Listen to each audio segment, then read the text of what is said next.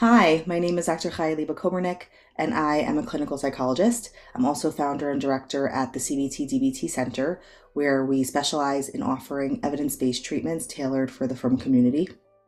Particularly, my jam is DBT across the lifespan, which means that I typically get to help people struggling with multiple problems related to their mental health. And at the core of those multiple problems is typically emotion dysregulation, which means that my emotions are experienced in a big and unmanageable right now kind of way. And uh, DBT is a highly effective treatment and very rewarding. And I also specialize in several other evidence based modalities, which means that I also get to work with people struggling with trauma and with anxiety and other related uh, disorders.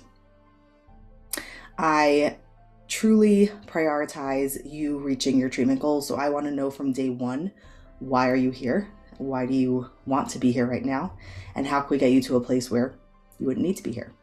and I'm consistently checking in to make sure that the work that we're doing is getting you to a place where you've reached the kind of goals that had you coming to therapy in the first place so that you can graduate and graduate for good.